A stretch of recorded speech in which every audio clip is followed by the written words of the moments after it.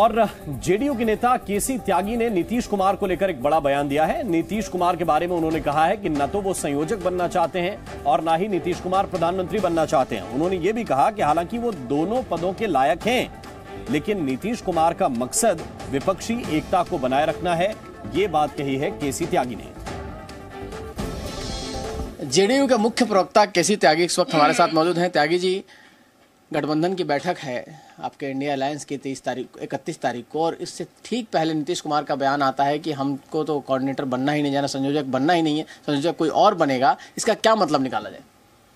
नीतीश कुमार जी और Janata Dal you, India संगठन की आत्मा है फाउंडर हैं, संस्थापक हैं, और हमें बड़े गर्व के साथ ये कहते हुए फख्र भी है कि इसकी शुरुआत हमारी की हुई है।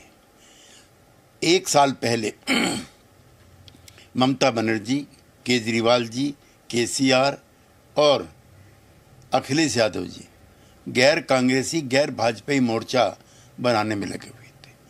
पिछले साल 25 सितंबर को देवीलाल जी की स्मृति सभा में, देवीलाल जी की स्मृति सभा में पहली बार ये विचार नीतीश कुमार जी के ज़रिए प्रोपेगेट हुआ कि बगैर कांग्रेस पार्टी को शामिल किए कोई बड़ा और बढ़िया विकल्प नहीं बन सकता।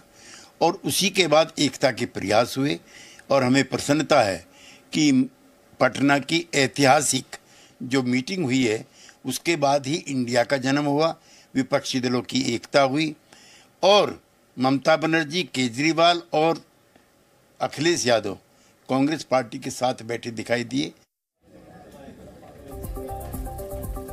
और बीजेपी के नेता तरुण चुग ने इंडिया गठबंधन पर पलटवार किया है और उन्होंने कहा कि ये इंडिया गठबंधन नहीं है ये घमंडिया गठबंधन है। तरुण चुग ने यह भी कहा कि 140 करोड़ देशवासियों का भरोसा प्रधानमंत्री मोदी पर है। तरुण जी नीतीश कुमार बिहार के मुख्यमंत्री ने कहा है कि हमें कन्वीनर नहीं बनना है आईएनडीआईए का बल्कि हम बीजेपी को हराने के लिए सबको इकट्ठा कर रहे हैं। गमंडिया गठबंधन इस तरह अहंकार व परिवारवाद में लिप्त है कि एक दूसरे को नेता मानने को तैयार नहीं।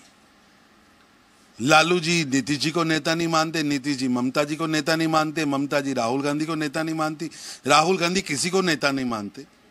ऐसी स्थिति के अंदर जब घमंड की प्रकाष्ठा हो हो रही हो और गमंटिया गठबंधन के नेता मुंगेरी लाल का हसीन सपना देख रहे हैं, पर देश की जनता के मन में मोदी है